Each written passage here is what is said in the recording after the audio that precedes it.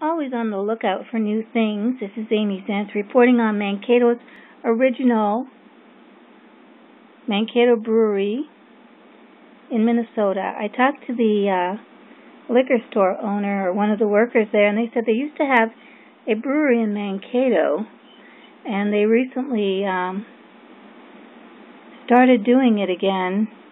Mankato Original is a beverage to the traditional top fermented beers of Cologne, Germany.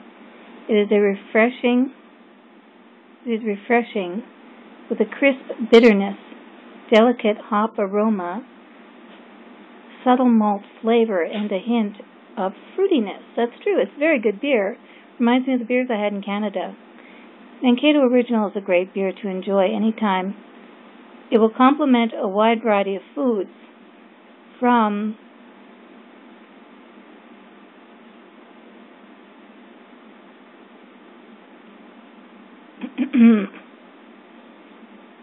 pizza to sausages and sauerkraut.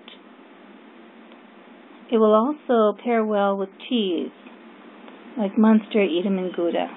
So they, they even give you uh, ideas as to what you can eat with your uh, beer.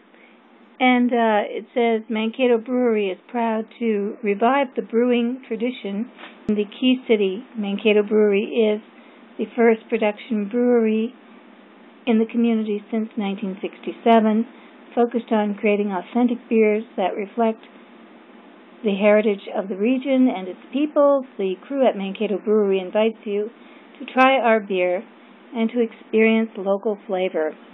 Interestingly, uh, the warning on the side of it is,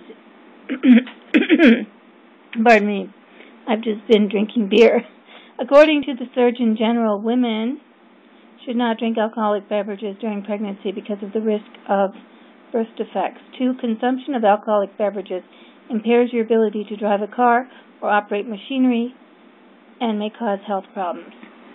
So, uh, don't drink and drive and enjoy local flavor.